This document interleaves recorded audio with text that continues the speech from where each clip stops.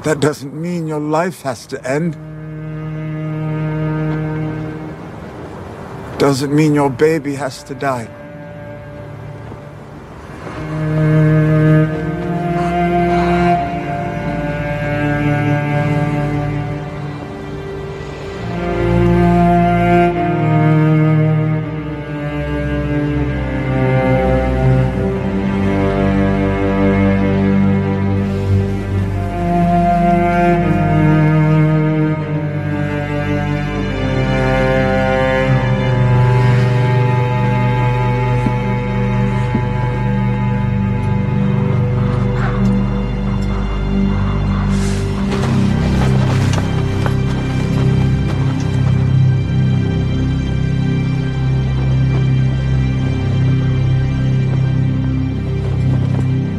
If you have any last words, now is the time.